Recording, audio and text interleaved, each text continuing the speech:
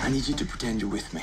See that woman over there? She's my ex, and uh, I can't be seen alone. Nice try. I'm sure this works for you all the time, but I'm really not interested. Jack, Megan. aren't you going to introduce me to your little friend? I'm Maria, Jack's fiance. Wow. Thanks, but uh, What? uh, you have to stop. Even being rejected in Portuguese is hard. I will never live with anyone again. Oh my God. I brought a few of my furniture pieces in. Wow, that's a big cross. It'll protect us from the evil eye. Oh. Ow! Oh! I think you broke it. My family can be overwhelming. Stay away from Maria. They hate me. They just need to get to know you. Who's Senor Maria? Someone who advises me. Don't tell me you're one of those superstitious freaks. Takes a moment at the grocery store, gave me the evil eye. The evil eye does not exist. Do you have any idea how foolish you sound right now? This is not the man for you.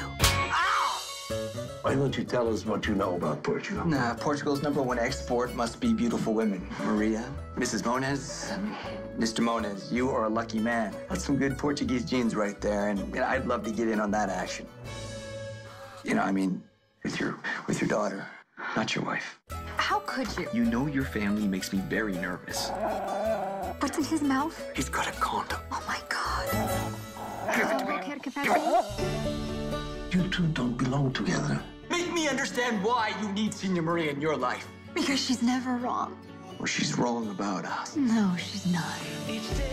Ah, I know. Breakups suck. But so do new girlfriends. Do you really love Jack? More than anything. Not knowing the future can be very frightening, but you might miss out on something wonderful.